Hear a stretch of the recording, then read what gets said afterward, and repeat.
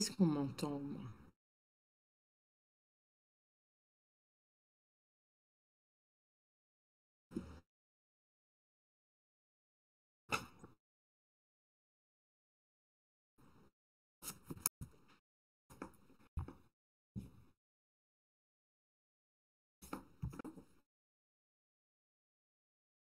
du petit trou.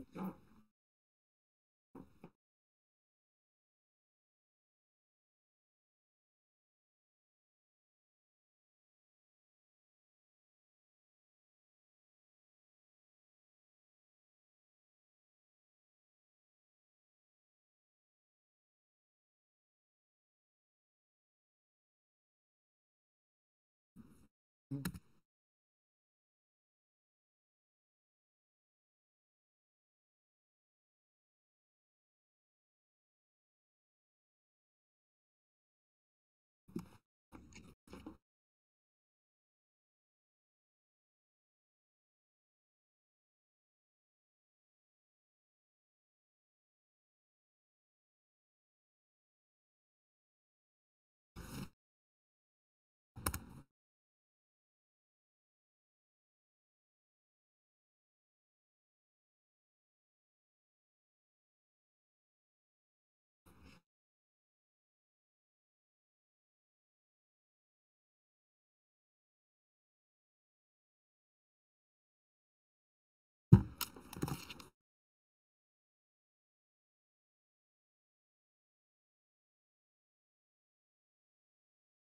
Euh, bah, je. Ouais, je tout à fait. Pourquoi faut tout refaire comme ça? C'est quoi euh? Ah là là!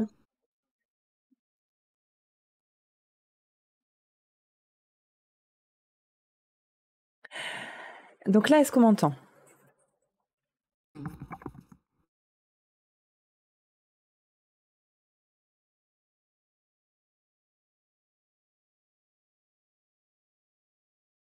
Euh, Franchement, non. Ah non.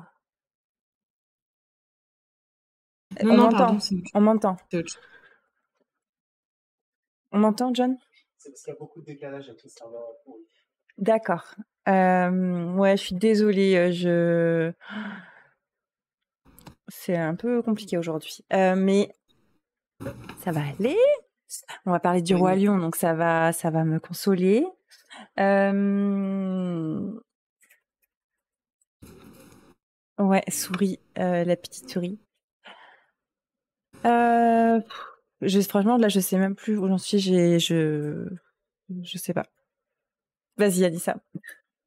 Ok. Je, j'encha- Euh. j'enchaînerai quand je serai revenue euh, sur mes pieds. Pas de problème. Donc, bonjour à tous, bienvenue, j'espère que vous allez tous bien. Je suis trop contente de vous retrouver.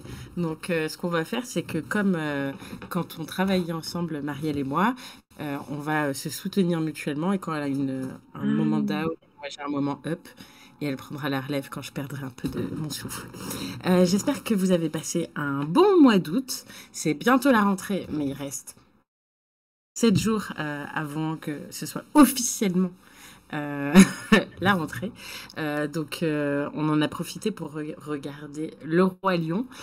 C'est un très très grand classique. Je pense qu'on est tous d'accord pour dire que c'est une tuerie, à part peut-être Madame Hara, mais je le clouerai au pilori durant, durant ce live. Aujourd'hui, donc, comme vous vous en doutez, c'est un Disney qu'on a toutes les deux vu. Il y aura pas gros suspense en disant qu'on qu'on l'adore tous les deux, toutes les deux. Et, euh, et euh, donc, euh, je vous propose qu'on commence peut-être euh, en douceur avec la bande-annonce, ou peut-être, avant la bande-annonce, peut-être qu'on peut commencer juste avec euh, le début, quoi. Parce que, en fait, le début, c'est le début, c'est le début de tout. Et je suis sûre que quand vous étiez jeune, vous aussi, vous criez.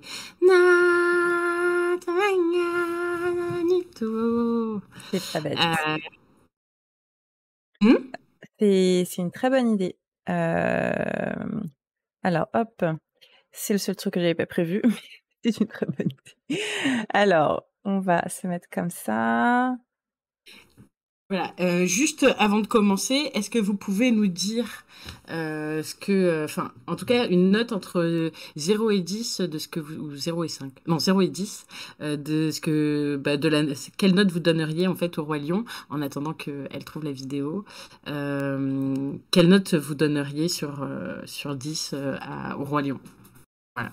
Euh, Je vous laisse répondre dans le chat. En vrai, on est plus très nombreux euh, parce en fait, on a eu euh, je crois qu'on a certains qui nous ont abandonnés sur la route, mais, euh, mais ça va revenir. Alors, comme, comme DA, c'est, comme direction artistique, c'est ça qui veut dire?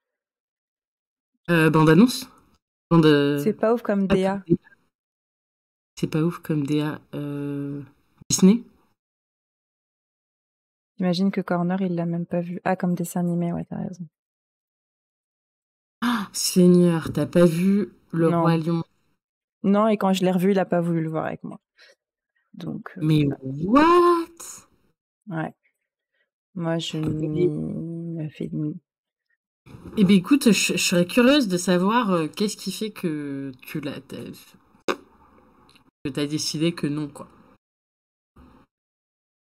Donc, euh, Il a Je- pas envie de répondre. il a pas envie de répondre. Non, il fait bah, autre chose. Donc, euh, Ah, ok, ok. Il y a des dessins animés. Ok. ouais. Il l'a pas vu parce que ce- c'est pas son truc les dessins animés, que c'est sorti, il était déjà euh, grand et ça l'intéresse pas. Je suis pas fan à la base. Il était pas fan de quoi? Il est pas fan de. Ah oui, la fan de quoi? Normal, il est pas ouf. N'importe quoi. Alors, euh, Madame Mara. non, mais là, je il est en mode provocateur, euh, je pense, Madame Mara. C'est ça, exactement. Mais c'est bien, faut- c'est bien. On peut pas, on peut pas faire un live trop consensuel, même si je l'ai commencé pas du tout de manière consensuelle. donc. Alors, Mais, moi aussi, euh, hein, j'ai des choses à dire, euh, euh, dessus. hein. J'ai toujours une vision critique hein, de, de, Mm. de- de- souvent des Disney, donc j'aurais des choses à dire quand même euh, qui qui iront pas dans le sens, quoi. Il y a du décalage entre le chat et la vidéo. Ouais, ben malheureusement, ça va être un peu complexe ce soir là pour pour discuter parce que tous les serveurs Twitch, enfin pas tous, mais beaucoup de serveurs Twitch sont sont down. Euh, ça a été très compliqué pour commencer le stream, vous aurez compris. Mais on va faire au mieux. Je vais lancer euh, la scène d'ouverture et peut-être qu'après même on regardera la bande annonce. C'est parti. Euh, on va-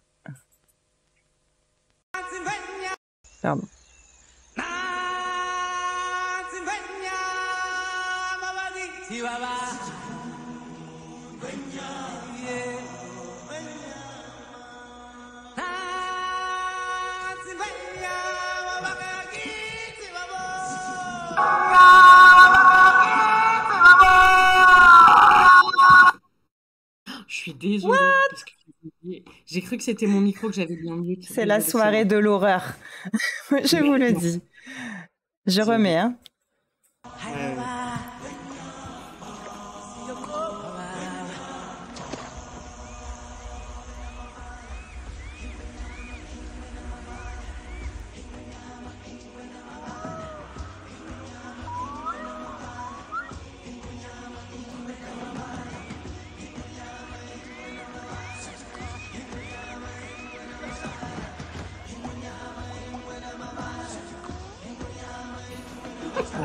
De ta vie sur la planète, ébloui par le Dieu soleil.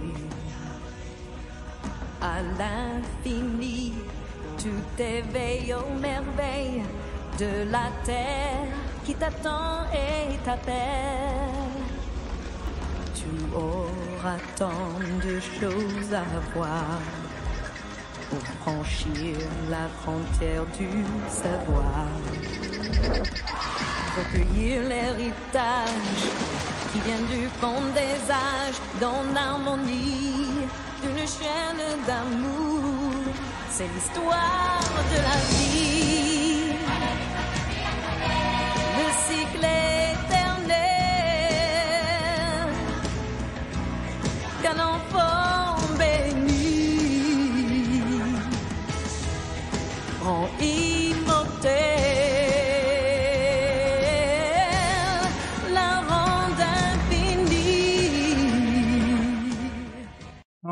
m'arrête là, le- la scène du début. Je sais pas quel décalage il y a. Oui, euh. oui, oui, je pense que- je pense qu'on peut. Tu m'entends toujours? Oui, je t'entends toujours. Ça ne vaut pas. Robin des Bois et Mer- au Merlin. Tu, ben, tu diras ça le jour où tu regarderas Le Roi Lion. Et puis on en reparlera. Exactement. Euh, et c'est un, ex- un, un extrait quand c'était pas encore en HD. Euh, ok. Euh, on va quand même euh, se mater la bande annonce parce que pareil, c'est pas en HD, ça nous fait un peu, c'est un peu un live nostalgie aussi. Hein, euh, on, rep- on repart en 94. Oui.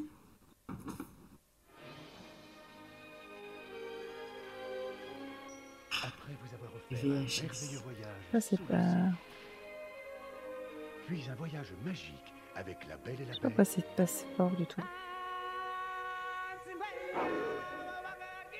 Aujourd'hui, nous vous ouvrons les portes d'un royaume sauvage et mystérieux, l'Afrique, avec le dernier né des films issus des productions Walt Disney, Le Roi Lion. C'est vraiment la voix de Disney, tu sais, la voix des présentations. Euh. Elle est mythique, hein. Ouais. destiné à devenir le roi de la tristesses, c'est juste qu'on va apprendre que Il le sait, personnage le jour où il va mourir, quoi. Ouais. soit le plus réaliste possible, les dessinateurs de Disney se sont inspirés d'animaux sauvagement réels qu'ils ont invités à venir poser. Ah, Dans la bande-annonce, là, c'était une bande-annonce très euh, centrée sur la création du dessin animé. de la grande pop star Elton John et des paroles de Tim Rice récompensé par l'Oscar. du meilleur Bah oui, c'est pour ça que j'ai rajouté une slide. Ouais.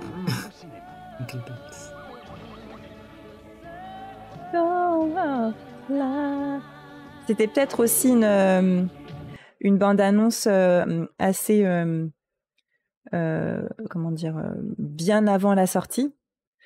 Euh, Et du coup, peut-être qu'ils n'avaient pas encore toutes les images et c'est pour ça qu'ils entrecoupent de beaucoup d'images de la création.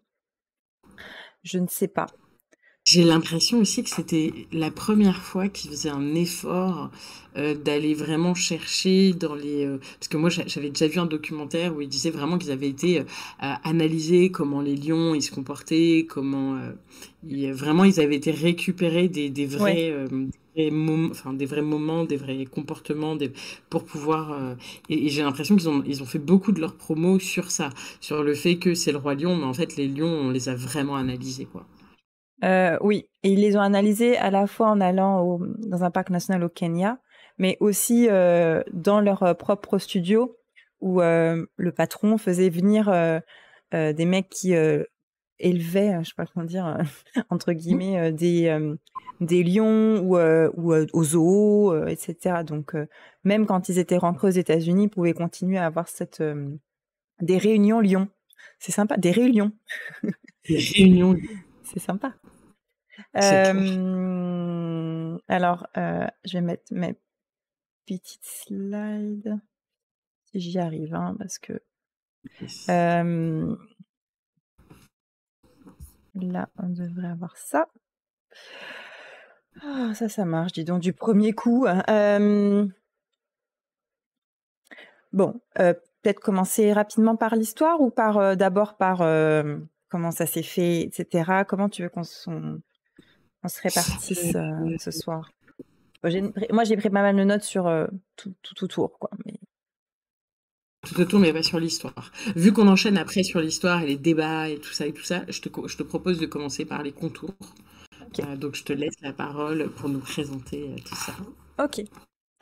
Alors, le, le Roi Lion, The Lion King en anglais, c'est un film pardon, qui est donc sorti en 1994, en juin aux États-Unis, en novembre en France.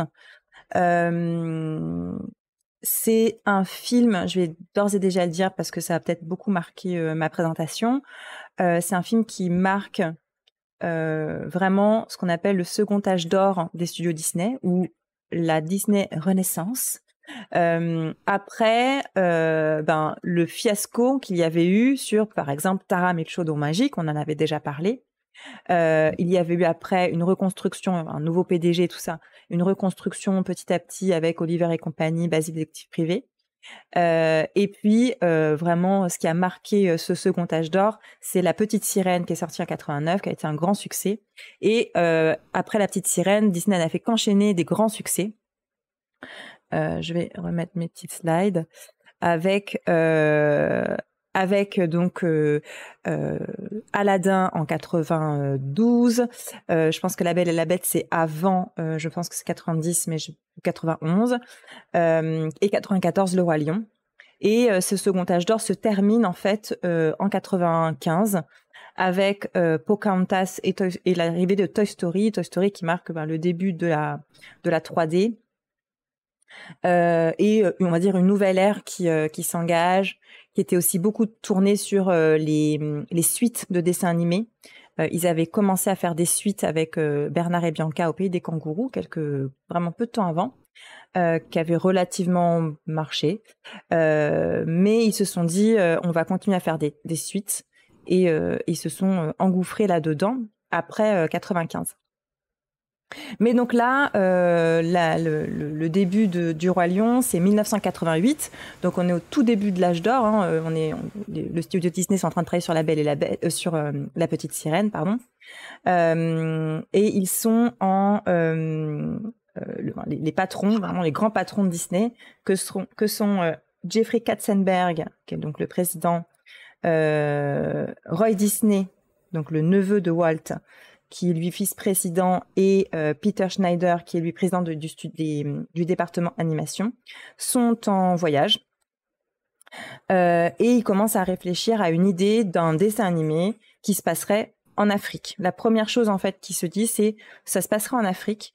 Et ils voulaient un, un dessin animé sur le passage à l'âge adulte et euh, ouais tout, tout ce qu'on peut tout ce qu'on peut vivre quand on euh, quand on passe à l'âge adulte. Je regarde pas le, le, le chat en même temps, mais il y a rien. Donc c'est- donc c'est par, parfait. On va dire tout le monde est très attentif. Euh, donc ça, ça, ça, ça débute là en 1988 et le nom de code de ce dessin animé en 1988, est-ce que tu saurais deviner ou est-ce que tu sais euh, quel est-il au sein des studios Disney? Un nom de code. Pour le royaume. Pardon? Pour le royaume. Pour le roi lion, qui n'est pas le roi lion. Oui, oui. Mm. Euh, Très. euh, Wakanda? Non, je rigole. Euh, ce serait. Franchement. C'est- hmm, Bambi, alors je sais pas exactement, mais je sais plus si c'est Bambi africain ou Bambi en Afrique. Euh, oh mais en gros, c'est ça le nom de code au départ euh, du Roi Lion dans les studios Disney. C'est comme ça que, que, que les, les animateurs commencent à travailler dessus. Bon, avant de travailler dessus, euh, il, il y a d'abord plusieurs scénarios qui sont mis en place.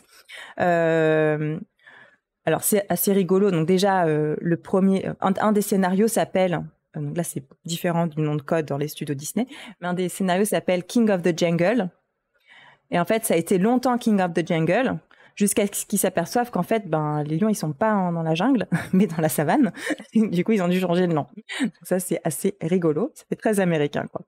Euh, Et dans les premiers euh, scénarios, euh, c'est très différent. On a les lions qui sont contre les babouins. Scar, en fait, c'est le chef des babouins. Rafiki, c'est un guépard. Euh, Timon et Pumba, c'est des amis d'enfance de Simba. Et en fait, l'idée, c'est que Scar manipule Simba euh, pour qu'il devienne un mauvais roi. Et il devient un mauvais roi feignant et tout ça. Et c'est comme ça qu'il s'empare du trône et tout ça. Donc, en vrai, au départ, quand euh, le, scénario circule dans les studios Disney, il y a peu de gens qui y croient. Euh, Il y a peu de gens qui y croient aussi parce que au même moment, quand on commence à bosser sur euh, euh, sur euh, le roi lion, on travaille aussi sur Pocahontas. Et Pocahontas, c'est euh, Jeffrey Katzenberg, donc le, patron, euh, dit euh, là, on est sur la masterpiece. Pocahontas, ça va être le nouveau chef-d'œuvre des studios Disney. On va, enfin, ça va être c'est Roméo et Juliette chez les chez les Indiens d'Amérique. C'est un truc de malade, quoi. Donc tous les animateurs veulent bosser sur Pocahontas. Et si tu veux, les petits animaux euh, de la jungle ou de la savane, euh, ça, ça intéresse que moyennement. Et du coup, sur euh, le Roi Lion, on va avoir beaucoup de gens qui sont des animateurs plutôt juniors ou des animateurs où c'est la première fois qu'ils sont responsables de d'animer un personnage et tout ça. Donc ça aussi, c'est intéressant quand tu vois le succès que ça a eu. En fait, l'œil neuf qu'il y a eu aussi sur, sur ce dessin animé. Alors, je sais pas, King of the Jungle, pas logique, oui, je suis d'accord. Et euh, ils l'ont fait beaucoup plus dramatique euh, du coup. Alors oui, euh, il y a une, enfin il y en a même plusieurs, mais il y a quelques inspirations quand même. C'est une, histoire qui se veut originale, mais qui est quand même inspirée de plusieurs mythes, comme l'histoire d'Hamlet de Shakespeare ou Le Roi Lear, je crois aussi. Ça s'inspire quand même de grandes tragédies. Et je me suis aussi dit, euh, c'est assez fort parce que euh, moi j'ai toujours adoré le roi lion, mais moi qui ai toujours besoin de m'identifier très fortement au personnage ou à l'histoire, là euh, je me dis mais pourquoi j'aime autant le roi lion? Et en fait c'est tellement un grand mythe, tellement une histoire euh, qui traverse les âges que ça fait, ça en fait vraiment un chef-d'œuvre hein, dans en mon sens. Ça c'est pas ça je l'ai pas récupéré sur Wikipédia. Euh, donc, euh, tu en parlais tout à l'heure. En 1991, euh, l'équipe euh, des animateurs font un voyage au Kenya. Il y a un des réalisateurs, qui était censé être réalisateur à l'époque, qui, part du projet à ce moment-là.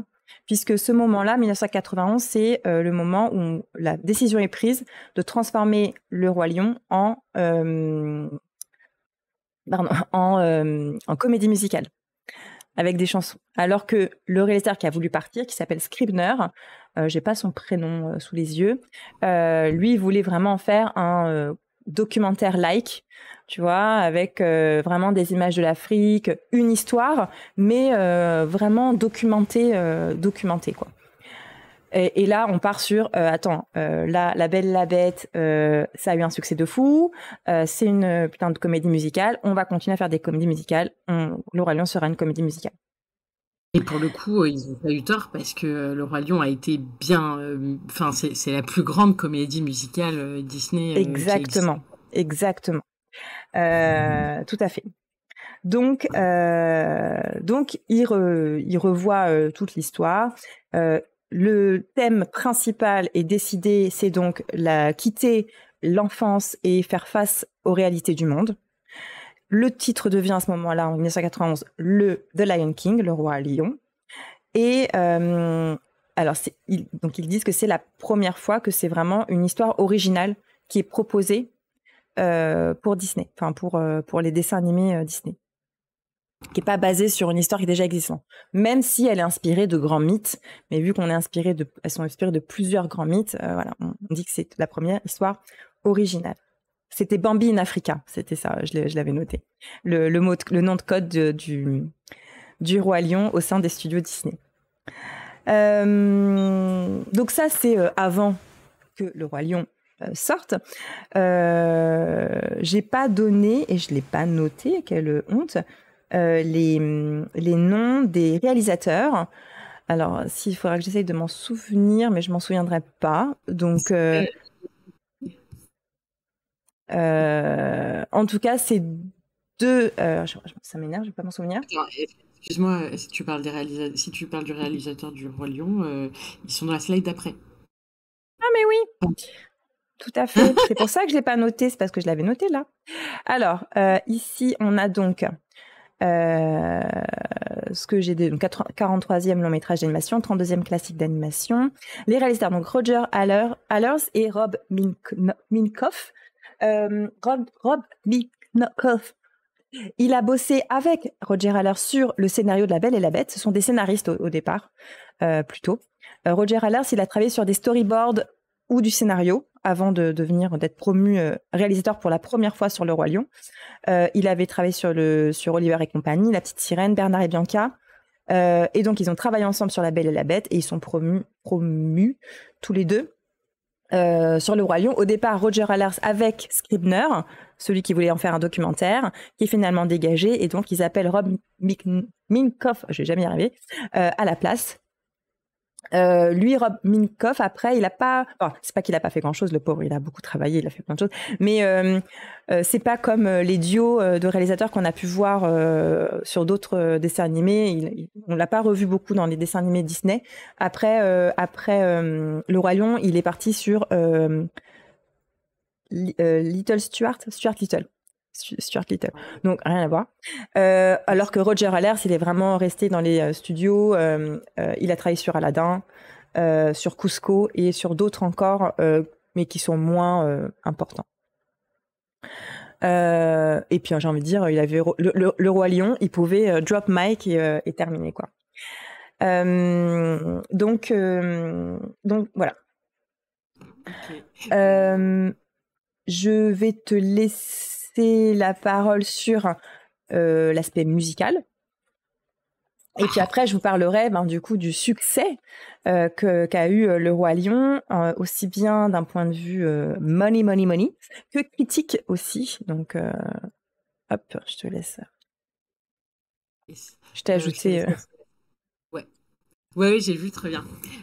donc, pour ceux qui ne le connaissent pas, euh, euh, pour ceux qui ne le savent pas, euh, la musique a été composée et je crois aussi que c'est le réalisateur, mais je ne suis plus très sûre.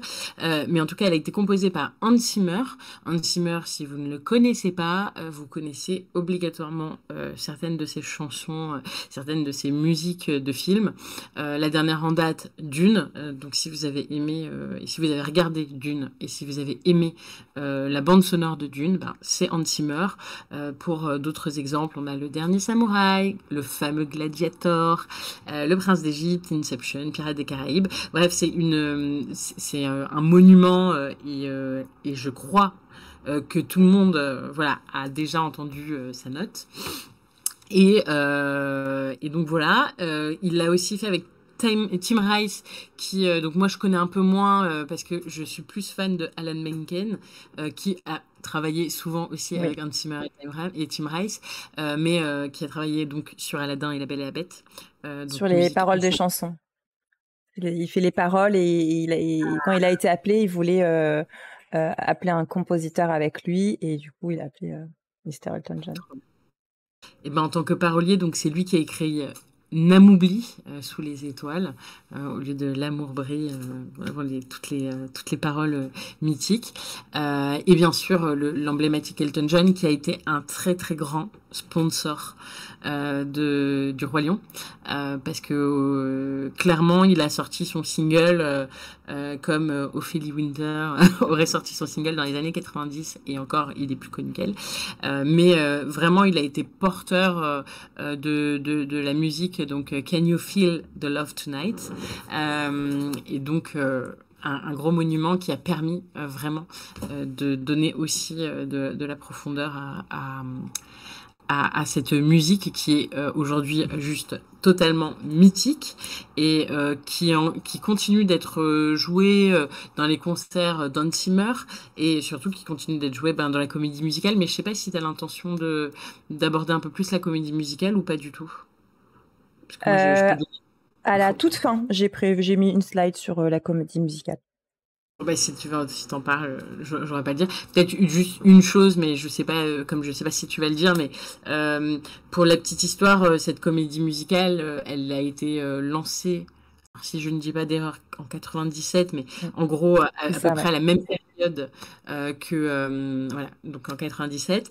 Et en fait, elle devait durer deux ans. Et finalement, elle ne s'est jamais arrêtée. Euh, parce que en fait elle est tellement victime de son succès qu'elle fait toujours carton plein Euh, donc depuis 97 elle n'a euh, elle ne s'est jamais en fait arrêtée il y a toujours eu euh, de nouveaux recrutements et en fait elle, elle a toujours eu ces saisons euh, qui se sont euh, qui se sont maintenues Oui. Euh, et, euh, et voilà et aujourd'hui euh, donc euh, pour ceux qui ne le savent pas en France actuellement euh, il y a le roi lion euh, Au théâtre Mogador. Voilà, qui, qui est proposé au théâtre Mogador euh, pour des places qui sont un peu chères. Donc, j'ai pas encore été le voir, mais euh, 100% des gens que je connais qui l'ont vu euh, ont adoré. Pareil. Euh, et je l'ai pas vu non plus. Et je rêve de le voir. C'est trop, ça a l'air trop bien. Donc, euh, ouais, euh, effectivement, oui, je j'avais pas prévu d'en parler énormément, juste le mentionner. Donc, c'est très bien que tu euh, que tu le dises. Euh, il me semble que hum, tu disais un peu, voilà, je pense que c'est une comédie musicale qui a battu des records, mais je, ne- je ne Ouais. saurais dire lesquels. Euh, et euh, et j'ai pas euh, j'ai pas trouvé, si ce n'est des gens qui disaient, euh, elle a battu tous les records, mais c'est un petit peu pauvre euh, pour moi. Donc, euh, Juste euh, un petit truc aussi sur euh, la comédie musicale, qui, qui- qui- en fait, les populations de la comédie musicale se sont vachement fait remarquer aussi, euh, parce qu'ils font beaucoup euh, euh, de happening euh, non officiels euh, durant euh, leur voyage, ou quand ils sont en déplacement, Oui. quand ils prennent l'avion. Euh, on les retrouve beaucoup sur YouTube à euh, chanter dans l'avion, à commencer à chanter en attendant leur avion. Mm. euh, Enfin voilà. Et donc ils sont aussi très connus pour ça. Et pour les victoires, je, je, je reviens vers toi, je, cherche et je te dis. ok. Euh, tac, tac, tac, tac, tac. On va revenir ici. Donc, je le disais, sortie euh, du Roi Lion en, juin 94 aux États-Unis, novembre 94 en France. Euh, c'est le numéro un du box-office en 1994. C'est le film euh, d'animation le plus rentable. Donc, il a ensuite été dépassé par Le Monde de Nemo, mais en fait, avec le temps, a priori, c'est quand même le Roi Lion qui est, qui est toujours devant. Alors bon, je ne connais pas les chiffres, je ne sais pas si c'est par rapport au merchandising ou aux ressorties qu'il y a pu avoir, je ne sais pas. Euh, il a été battu par la Reine des Neiges quand même. euh, on, qui euh, la Reine des Neiges a dépassé le milliard de dollars euh, de de, de bénéfices. Donc forcément. Alors que le roi lion à travers le monde a, a récolté plus de 900 millions de dollars. Donc ils ont frôlé le milliard pour un budget du film qui était de 79 000, euh, 79 millions 300 000 euros. Euh, dollars, pardon, pas, pas d'euros. Euh, donc de 79 à 987, je vais pas faire le, le calcul, mais euh, voilà, ils ont, ça a bien marché, on va dire. Euh, en France, c'est le premier film à se hisser en, c'est le premier film d'animation à se hisser en tête du box-office depuis Bernard et Bianca, pas au pays des kangourous qui venait de sortir, mais Bernard et Bianca de l'époque, je sais plus quelle année. Euh, c'est le plus grand box-office mondial et en France en 1994.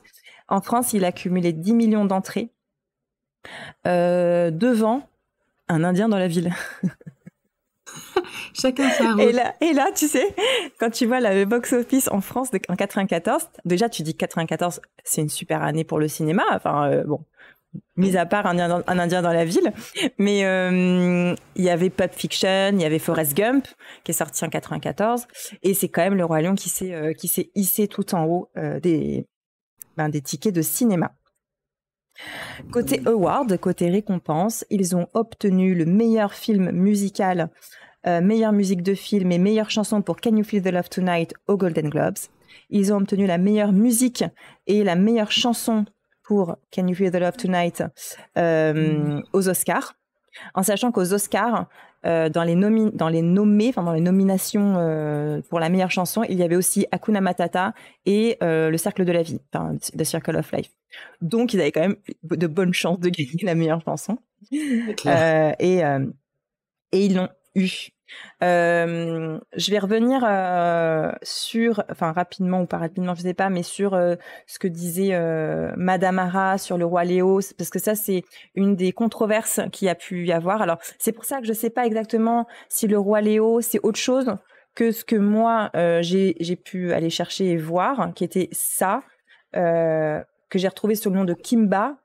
Mais en tout cas, je sais qu'il y a eu une controverse à, à ce moment-là où euh, donc c'est un manga euh, effectivement, euh, un animé japonais.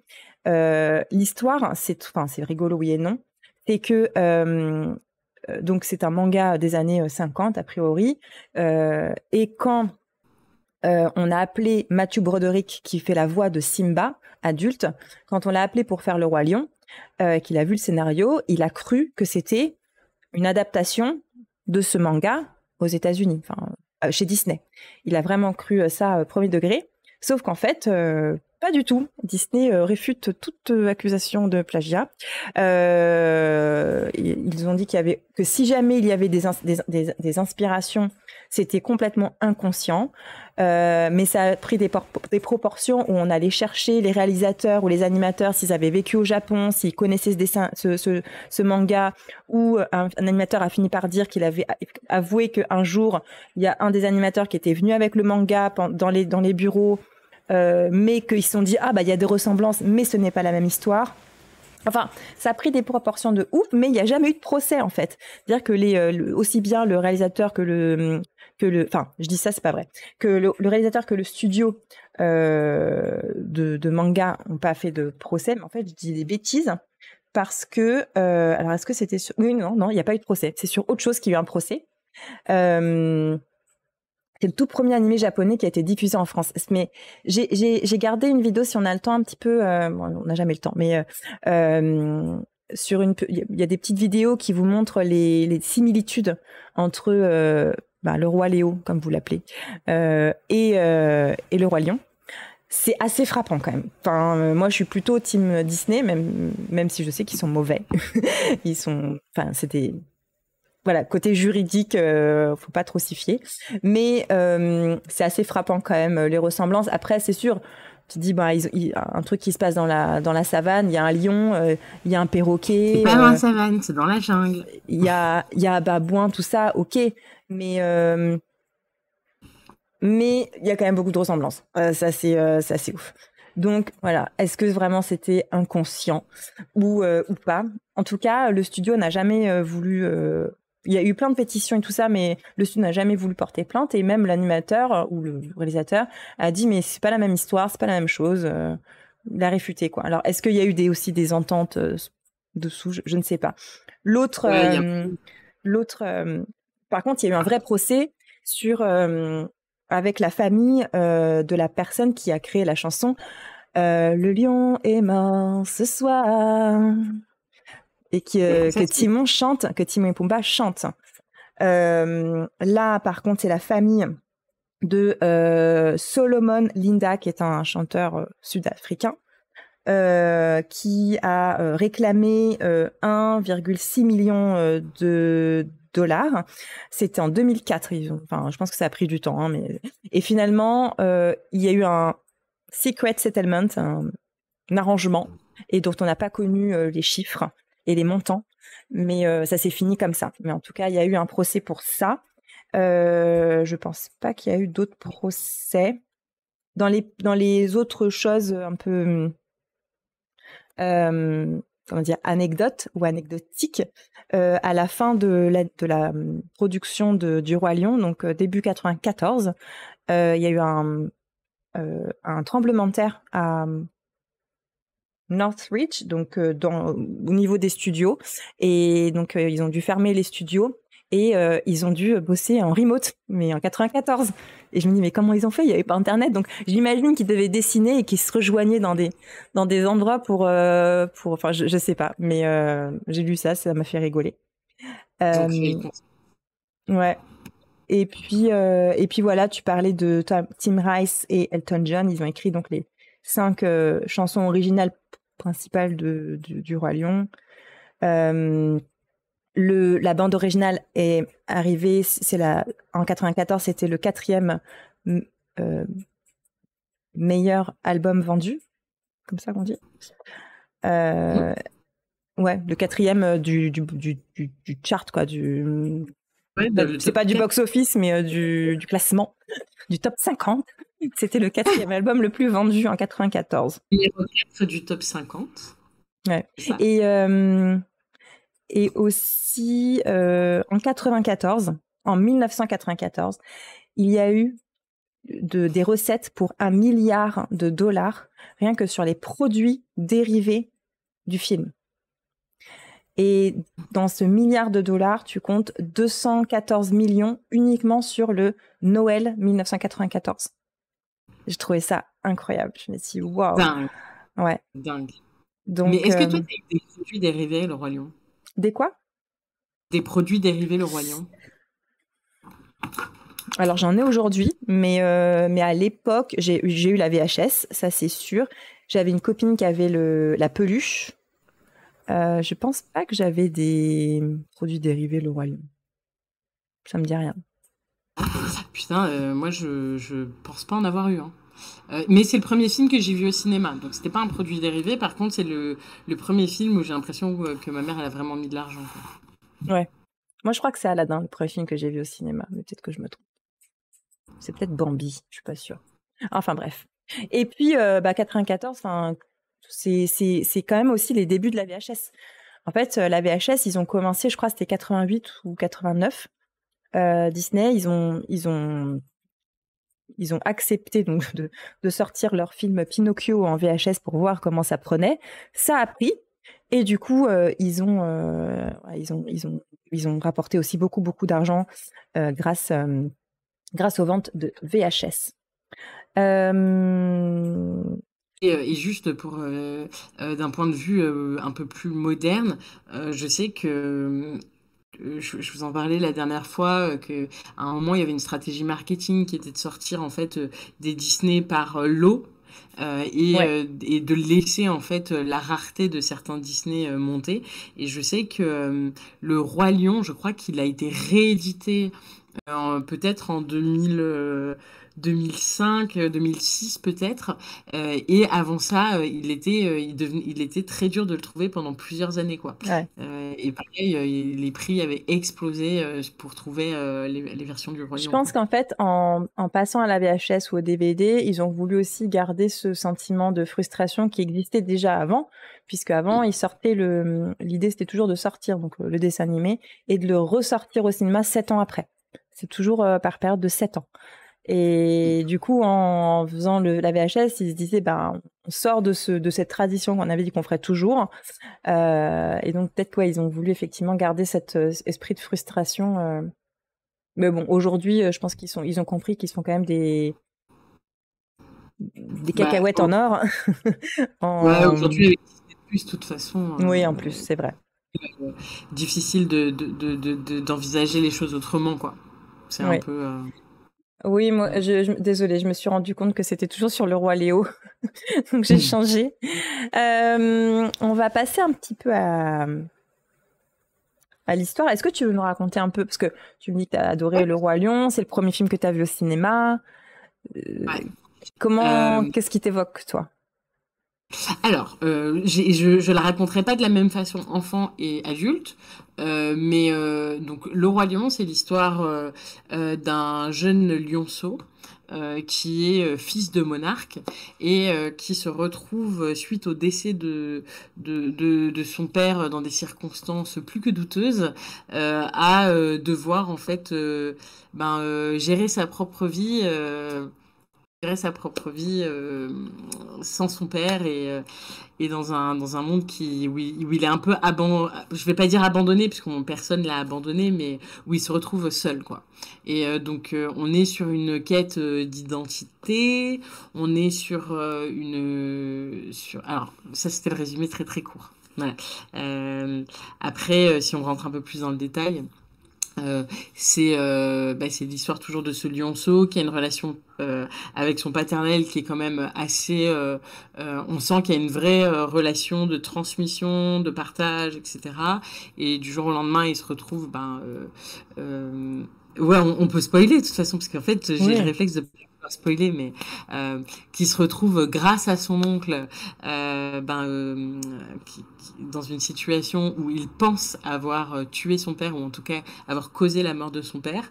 Et, euh, et, et sous les manipulations en fait de, de Scar et ben il va décider de s'enfuir et euh, par chance il rencontre euh, deux Rastafari euh, parce que c'est clairement comme ça qu'on les dessinerait s'ils étaient humains mais voilà deux, mecs un peu deux mecs donc Timon et Pumba deux personnages très pépouses qui vont en fait s'occuper de son éducation et qui vont lui offrir un foyer pour le coup dans la jungle.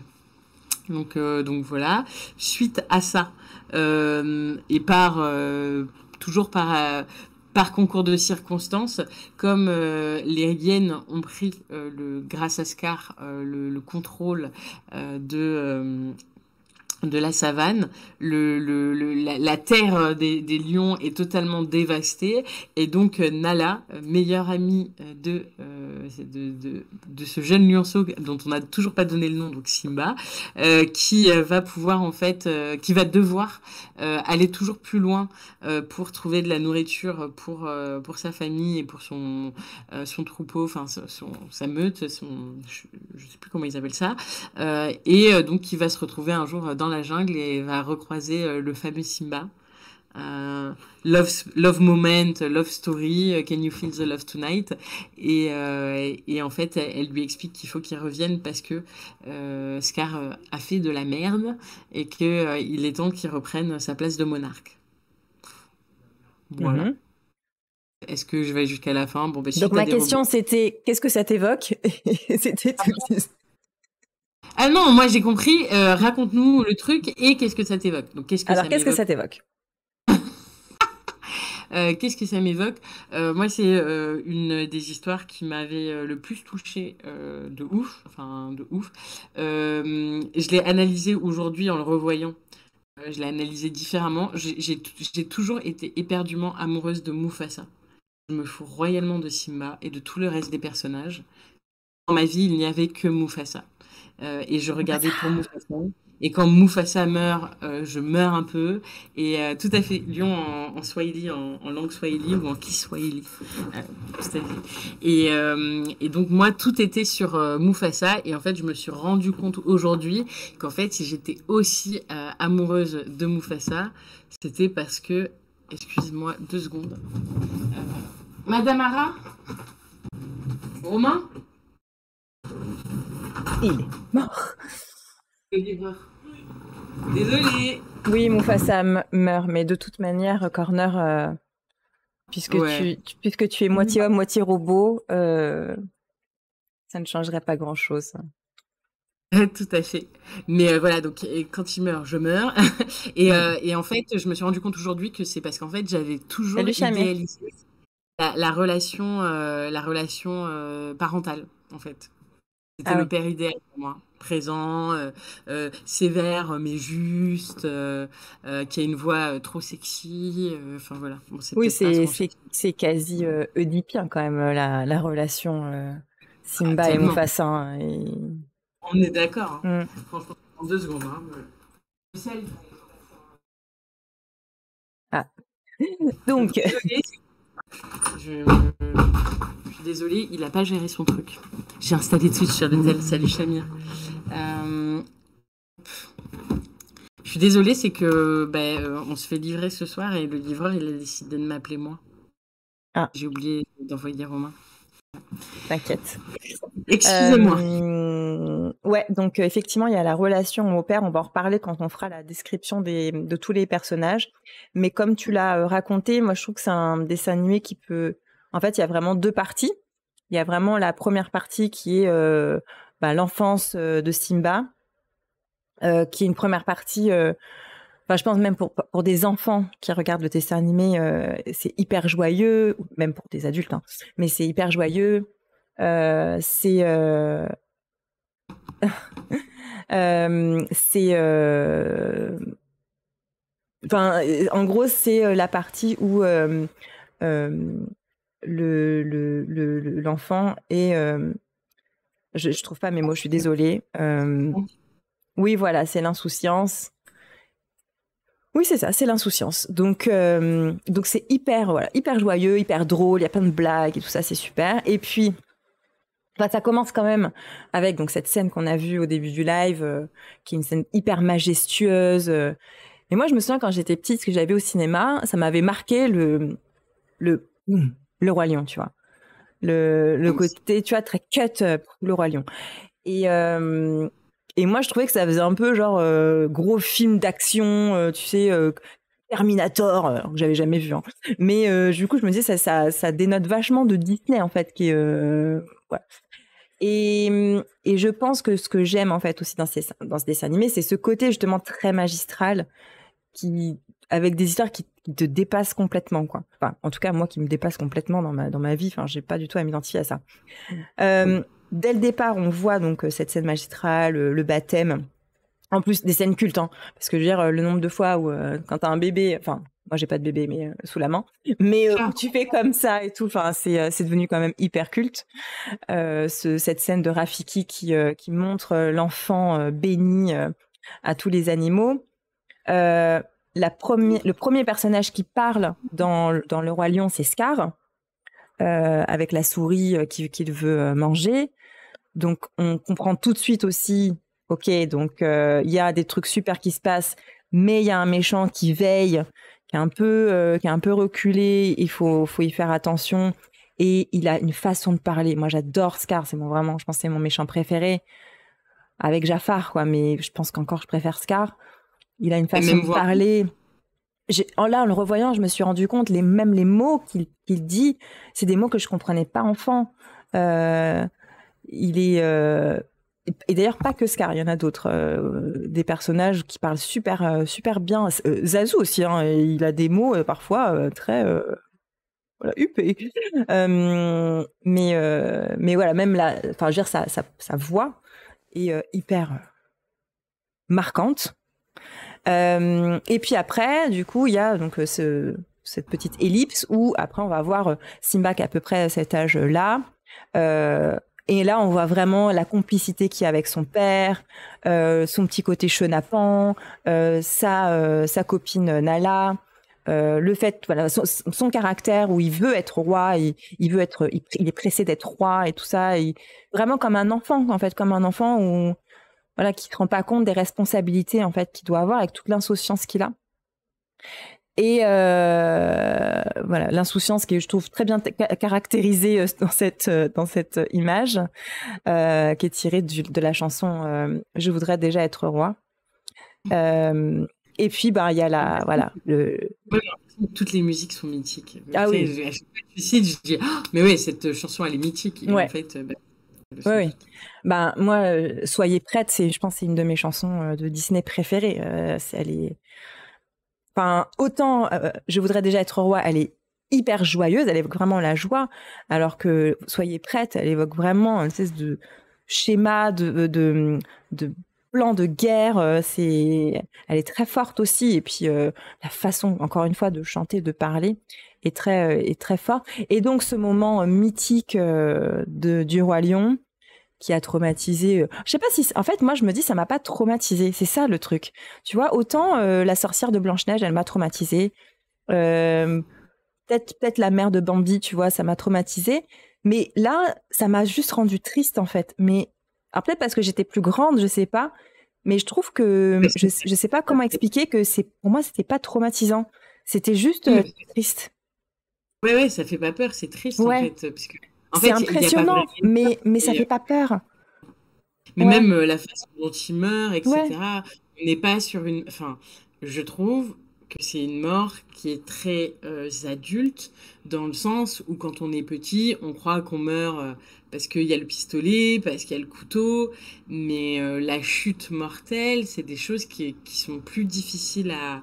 Enfin, qu'on n'a pas forcément, euh, qu'on n'intègre pas euh, très très jeune, quoi. Oui. je trouve que c'est des morts un peu d'adultes, et, et, et je pense que ben enfant, on a plus le côté triste que le côté chaud. Ouais, ouais. Et ouais.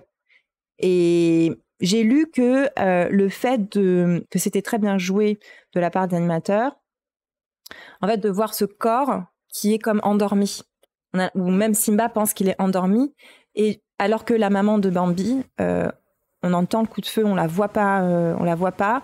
Et là, en fait, c'était, euh, alors c'est pas rassurant, c'est pas le mot, mais ça accompagne bien ce moment, en fait, ce moment qui est horrible parce que Enfin, tu dis le pauvre petit, plus son papa, et son oncle, il vient lui dire que c'est de sa faute et qu'il faut qu'il se casse.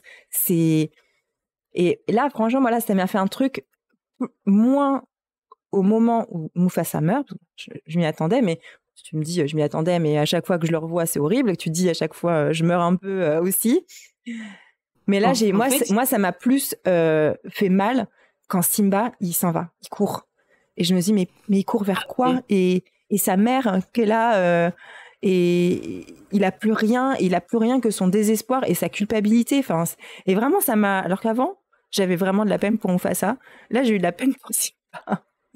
C'est. Ouais, mais en fait, c'est ça. En fait, je pense que, en fait, moi, personnellement, euh, j'ai euh, Mufasa, bon, euh, malgré mon amour pour lui, euh, lui, il est mort, on s'en fout, tu vois. Mais c'est vraiment la réaction de Simba qui dit Allez, réveille-toi, Ouais, allez. En fait, cette prise de conscience, ouais, tu vois, sur, sur plusieurs. Oh mon Dieu, mais quelle horreur, quoi. Euh, le, le, le, le gars qui. Enfin, le petit qui qui comprend pas en fait, qui, qui, qui découvre en fait le concept de mort ouais. euh, et, qui, euh, et qui en fait dit allez c'est pas drôle là tu, tu te réveilles là et en plus je crois que je suis pas très sûre mais je crois si en fait il y a, il y a la scène avant où il réveille son père parce qu'il veut aller voir euh, Oui, la scène du début. Ouais. Voilà où en fait son père dort et il le réveille et là en fait c'est le parallèle où en fait là tu, tu peux pas le réveiller C'est ça. Je la mets juste en fond, euh, pas forcément avec le son, mais, euh, et, euh, et, et aussi mais pour qu'on voit ce moment. Et pour l'époque, la scène est extrêmement bien faite. Euh, L'image qui, qui tremble, euh, moi dans mon souvenir, j'ai vraiment l'impression que je sentais les vibrations euh, de- du, du troupeau. La fumée, tu, tu sens vraiment qu'il s'est, enfin, tu sens que c'est vraiment, il s'est passé un truc de ouf et que là on est sur la retombée de la Ouais. fumée et tout. ouais, je, tout je un trouvais. l'atmosphère, quoi. Et la scène qui précède donc l'attaque des gnous, euh, la charge des gnous, elle est, euh, ça a été la, enfin la, la première à être faite, à être, euh, où ils se sont aidés des ordinateurs en fait pour pour la faire, pour la réaliser. Ouais, c'est clair. Puis, ah mon dieu, oh non, j'aime pas cette. Ouais, et puis et en fait c'est ce moment-là que je trouve, tu vois, qui pourrait faire peur, tu vois, avec les yeux et tout. Et je me, je me suis posé la question, est-ce que si c'était un humain ou si c'était des humains, ça ferait plus peur, tu vois? Et là, le fait qu'on... Il y a peut-être moins aussi de... Je sais pas, le fait que ce soit que des animaux, je sais pas. Euh, écoute, euh, c'est une bonne question. Après, je pense que c'est pas graphique comme image. Il n'y a pas de sang, pas de. Donc, je pense que si on faisait des humains de manière non graphique, euh, possiblement, ça marcherait bien aussi, quoi. Mais euh, aujourd'hui, euh, comment euh, un enfant il fait la différence entre quelqu'un qui est mort et quelqu'un qui est vivant et quelqu'un qui dort? Euh, nous, on va analyser la coloration, euh, est-ce qu'il y a une rigidité, machin. Euh, lui, il va regarder est-ce qu'il y a du sang? Tu vois? Ouais, ouais, c'est vrai. Donc, Enfin bref, moment... Donc moi, je dirais pas traumatisant, mais en tout cas qui a marqué des générations et des générations d'enfants, euh, qui, est, euh, qui est un moment très euh, triste. Et puis donc notre petit Simba s'enfuit. Donc Scar, comme tu disais, prend la terre des lions sous sa main et fait une une une entente avec les hyènes. Limite, tu te dirais, euh, bah, en fait, c'est cool un partenariat avec les hyènes. Pourquoi être ennemi Tu vois, tout le monde est content, tout le monde est joyeux, tout le monde est ami. Mais forcément, ça se passe euh, très mal, puisqu'en fait, Scar, euh, son problème, c'est qu'il ne respecte pas le cycle de la vie que Mufasa. Euh, et que du coup, très vite, il n'y a plus à manger, il n'y a plus rien. Et donc, c'est la débandade. Pendant ce temps-là, lui, Simba euh, rencontre Timon et Pumba. Moi, je trouve qu'une vraiment. bon, il y a beaucoup de scènes mythiques, hein, mais une des scènes mythiques, c'est quand même cette scène dans Hakuna Matata où t'as Simba qui grandit. C'est tellement bien fait, c'est tellement bien pensé. Euh, et puis à la fin, je sais pas si tu te souviens, donc euh, la, la chanson s'arrête et la Ah scène qui suit, on entend un prout. Ah non. On entend un prout et en fait, euh, Timon ou je sais pas qui dit ah bah non pas mal Simba. Et en fait, c'est là où tu tu comprends qu'en fait Simba il a complètement changé parce que tu l'imaginais pas trop faire ça avant. Euh, et qu'en fait, il s'est complètement intégré à ce groupe d'amis et que, mais c'est pareil, c'est assez drôle. Et apparemment aussi, Pumba c'est le premier euh, personnage de dessin animé qui fait un prout dans un dessin animé de Disney. Ah, trop drôle. Mm. Ok. Et ben. euh, Et certains étaient moi, je- contre. Et certains étaient contre. Et ils ont quand même, ils l'ont quand même fait. Ils sont fatigants aussi. hein. Euh, moi, personnellement, euh, le... alors, toi, Sur quand tu dis que c'est des amis, euh, ouais, sur les quatre. Quand tu, quand tu dis que c'est des amis, moi, je les vois pas comme des amis, je les vois comme des parents. Ah Et, ouais? il y en a beaucoup. Et donc, dans le milieu LGBT, on considère que c'est aussi le premier couple gay non dit de Disney qui a adopté en fait un enfant. donc, c'est quelque chose que j'ai entendu déjà dans le couple. euh, Dans le- voilà. Ah ouais. Ah, ouais. Eh bien, je ne connaissais pas cette. euh, cette, euh, ce- ce- cette Cette petite, école. voilà. cette, Voilà, les- les- cette vision. Non, mais à la fois, c'est vrai que euh, euh, alors déjà leur relation de Timon et Pumba, elle fait plus, euh, enfin, ils ont pas le même âge que que que, que Simba, et et la- leur relation avec Simba, elle est très, on va t'apprendre à te nourrir, on va t'apprendre à pas faire de la connerie, et quand tu seras assez grand, tu nous défendras. Donc Hum, c'est vrai. moi, pas vraiment comme une euh, ouais, relation euh, amicale. Bon, en tout cas, moi, j'ai ce biais-là de le voir euh, plutôt Non, mais c'est pas effectivement, j'avais pas du tout pensé euh, que ça que Mhm. c'était des parents plus des ouais des. Mais c'est vrai que quand ils le recueillent, c'est un enfant et eux ils ne sont pas des enfants à ce moment-là, donc euh, donc euh, oui, ça ça se tient, ça se tient. Bon, en tout cas, voilà, Timon et Pumba aussi personnages. euh, on, va, on va revenir sur, sur tous les personnages, mais vraiment euh, des, des, des sidekicks. euh, je veux dire, c'est difficile de faire mieux. Peut-être Mouchou. Mais bon. Bah, alors, euh, il faut ban Marielle. non, non, alors, euh, et Pumba, ils ont tellement bien fonctionné en tant qu'acolytes que, quand même, le Roi Lion 3 euh, est orienté uniquement sur eux. Oui, et ils ont une série Disney aussi. Ouais, exactement. Donc, ouais, ouais, on est sur des acolytes plus, plus, plus, quoi. Donc, non, non, c'est ça d'abord. Simba retrouve Nala. Elle essaye de me bouffer que, que, que des... Ah non, mais en fait, quand je l'ai revue, des fois, John était là et, euh, et donc je, je disais les paroles, quoi. Et je me rendais compte que je les connaissais toujours. Et il me disait, mais à quoi ça sert de regarder si tu connais par cœur? Je dis, non, mais les trucs que, les trucs que j'ai oubliés, ou même le fait, le fait de revoir, mais si tu connais par cœur, c'est toujours un plaisir, quoi. Donc, euh, mais oui, je me suis rendu compte à quel point le dessin animé était culte. Alors, je pense universellement, mais moi, dans mon enfance, avec mes copines ou quoi, c'était euh, toutes les références qu'il y avait du Roi Lion. C'était assez fou. hein. Donc, euh, ils se retrouvent. Euh, on a une scène qui, quand même, c'est une scène.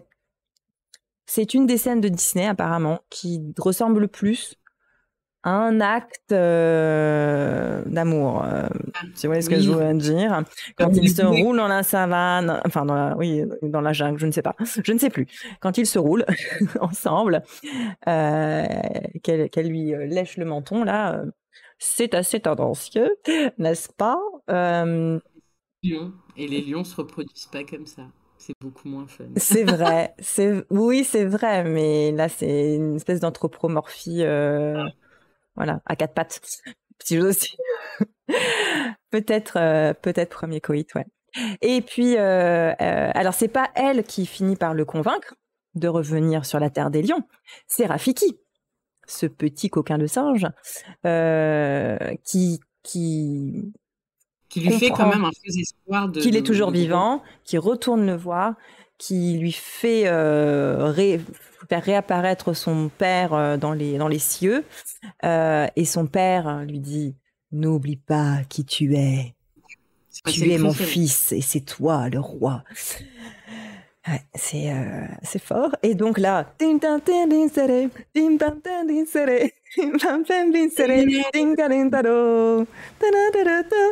Voilà. Bon, bref, Euh, il retourne sur la terre des lions et même la fin est, est- est- est- pareil, formidable. Enfin, je veux y a rien, pour moi, il y a rien à jeter dans ce dessin animé, quoi.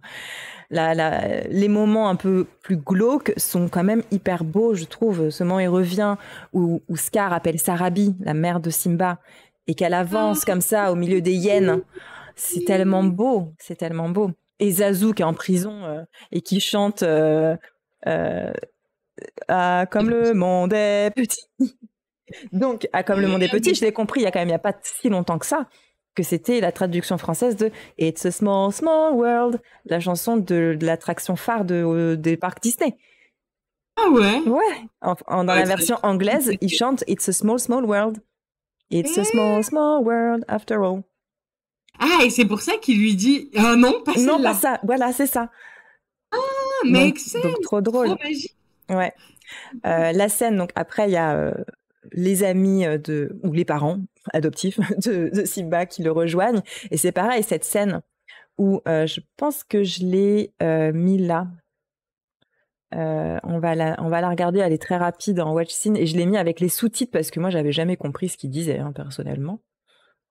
T'es complètement fou, je veux pas me déguiser en vainé Waouh Ne vous tendez pas si c'est du lard du cochon Si vous avez pas compté tout creux mon compagnon À la filatène, chère petite hyène Ah, je moi, ne savais pas la entendu. Dans le cochon on mange tout. Wow.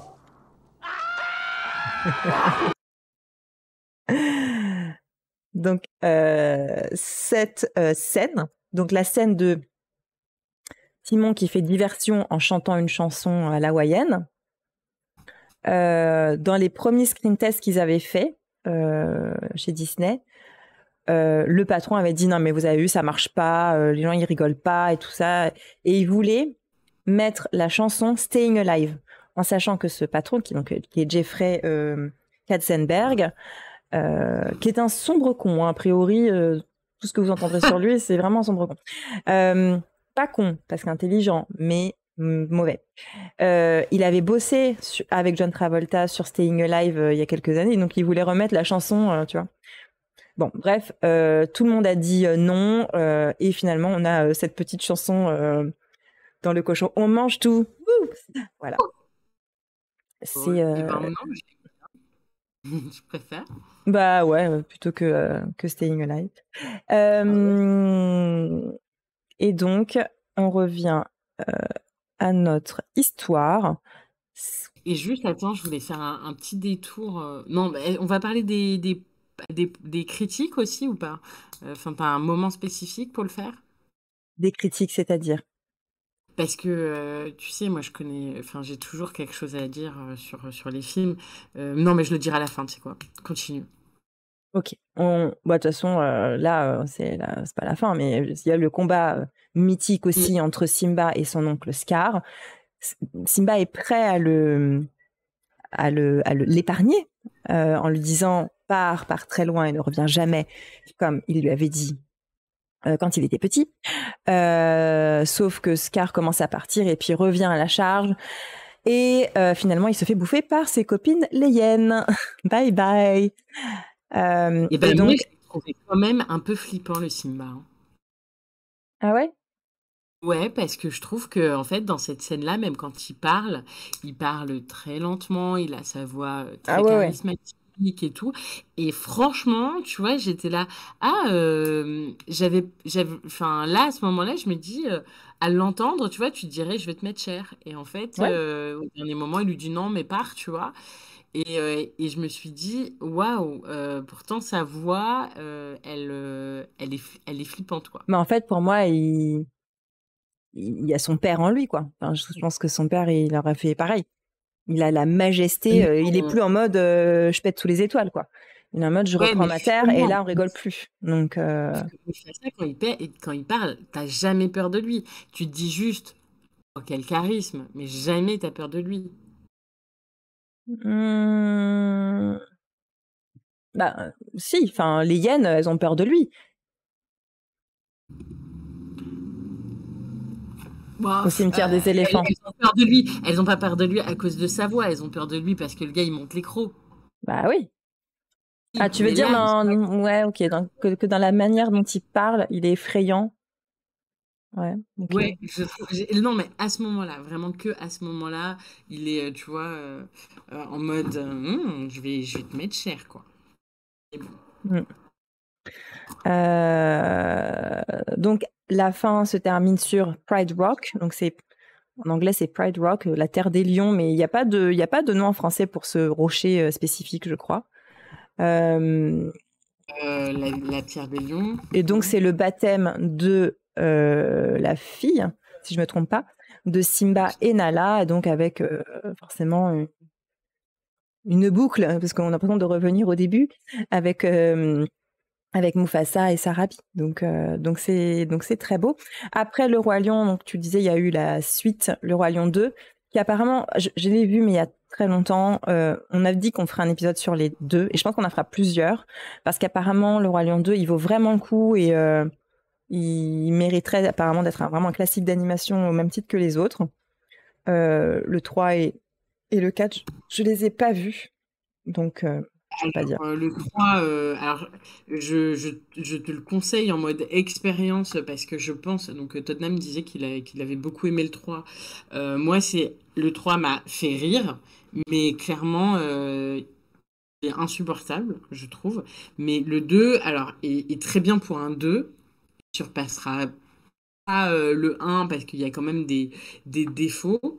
Mais euh, par contre, en effet, on s'attache beaucoup à Chiara et Kovu. Il y a une vraie histoire. Il y a une histoire aussi, pour le coup, là, euh, plutôt orientée sur les différences, tu vois, une, histoire d'amour ou d'amitié et les différences en fonction des tribus. Donc, il y a, y a vraiment une, une autre histoire, quoi. On n'est pas sur la même histoire que le Roi Lion, et ça, c'était quand même euh, très appréciable, quoi. Mm. Et donc le 3, il est très conceptuel en fait. C'est pas un, c'est pas un dessin animé normal. C'est, euh, euh, c'est en gros euh, juste pour que tu comprennes un peu le concept. C'est Timon et Pumba qui sont dans une salle de cinéma, qui finissent euh, le roi lion et qui disent oh putain euh, en gros hein, oh putain ils ont pas trop parlé de nous euh, nous aussi il faut qu'on parle de nous euh, on va raconter notre histoire et en gros euh, c'est pas une histoire linéaire c'est euh, plusieurs euh, dans mon souvenir euh, plusieurs euh, histoires euh, accolées qui sont liées à Timon et Pumba quoi. Jamir on a regardé le, on a regardé le même article, je pense qu'un article Wikipédia sur euh, toutes les anecdotes euh, euh, où effectivement la chanson Soyez prête, c'est euh, bah, c'est c'est vraiment euh, calqué sur euh, le film, euh, c'est le Triomphe de la volonté qui était un film de propagande sous euh, Adolf Hitler. Et, euh, et c'est ma chanson préférée, oui, c'est vrai. c'est Madame Je, je l'avoue. qui est quand même incroyable que tu, tu aimes une, maison- une chanson de méchant quoi Ah ouais, mais celle-là, je... mais même petite, j'avais la cassette euh, audio de la bande originale du Roi Lion. Et euh, bon, je, je mettais toujours les premières chansons. euh, J'ai pas beaucoup écouté. Les musiques après sont géniales, hein, mais moi j'étais enfant, je voulais écouter les chansons et chanter avec. Et la chanson, la chanson Soyez prête, ouais, elle a dû, elle a dû souffrir, la pauvre. Euh, bon, en 2019, ils ont fait euh, ce qui apparemment était un fiasco. Hein. Moi, je l'ai pas vu, Oh, moi non plus ai mais apparemment, c'est vraiment. Comment? Faire du live action pardon? Ouais. Et ben, je crois que je l'ai vu. Pour te dire, hein, je... non, je sais que je... je crois que je l'ai vu. En fait, je crois que je l'ai vu et euh, qu'en fait, le, le problème en fait des live action et qu'ils n'ont pas encore compris euh, chez nous, euh, les nostalgiques, c'est que les nostalgiques connaissent toute la vibration d'un film. Ça veut dire, tu connais tous les tons, tu sais, euh, le Sarabi, Mm. tu connais le mm, Mufasa, Hmm. Mufasa, tu vois, Mm. tu connais toutes les petites vibrations. Ouais. quoi. Et en fait, là, ils ont fait la même chose, mais en fait, il n'y a pas ces vibrations-là. Ils n'ont pas Ouais. refait.